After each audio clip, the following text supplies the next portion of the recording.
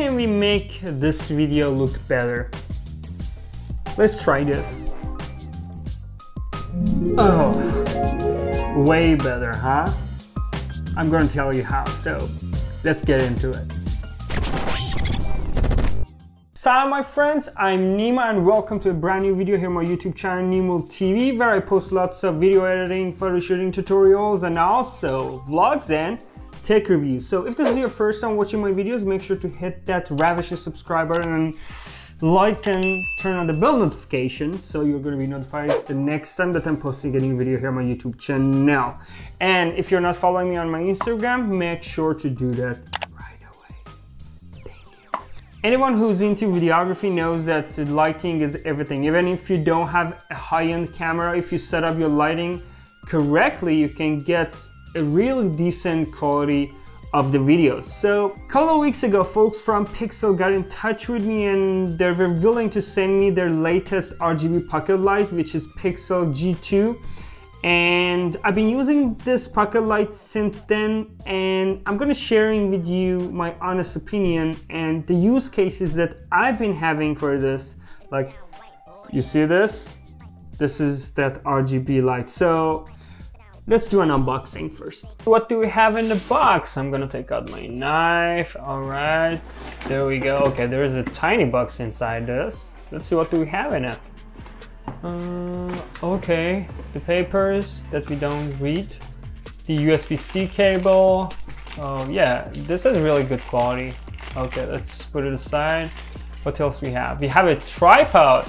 We have the shoe mount which you can use to just put stuff on it or put this on stuff. All right, it has a bag and let me take out the actual Pixel G2. Hmm, actually this has a really good quality. So let's see what else it can do.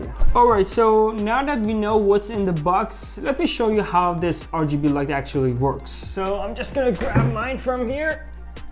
All right, so I set it up on this color. It has a display on the back side. Good thing about this RGB light is the fact that it comes with a tripod and also this holder which lets it kind of move freely the way you want it.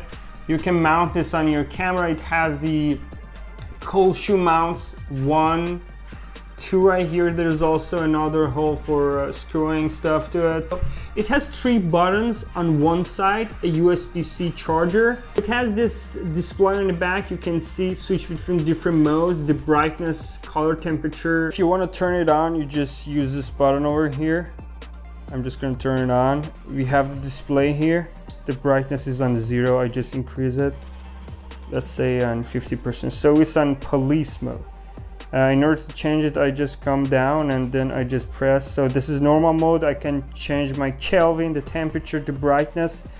So it's just gonna give me a warmer tone. And what else do we have? So if I click on this, I have the RGB mode. This is the brightness. Okay, I'm just gonna put it on 100 and then I'm just gonna go lower and change the color. Okay, you see, I can switch between different tones, the brightness levels and to change the saturation you just go all the way down and just reduce this. So this is saturation. I increase the saturation. So saturation the color and the brightness. So this is TV screen simulator. So if you want to just simulate and just sit in front of it say I'm watching TV for videography.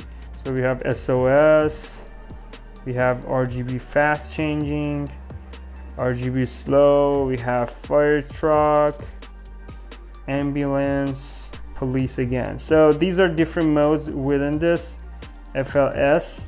So if you're recording your videos in your room in a tiny studio or you're constantly like traveling on the go and you want to light the environment, the room that you are like in a hotel room to just set it up and get some backdrop lights this is a really good choice because first of all, it's cheap, it has a really good quality and you have lots of choices to switch between based on your needs. So I would definitely be using this uh, when I'm traveling and wa I want to kind of record some video or take a photo like when I need extra lighting. Oh my god, this thing is really powerful. It's just Okay, so guys, uh, I put the link for this RGB pocket light below in the description. There's also a discount code that you can use to get it for cheaper price.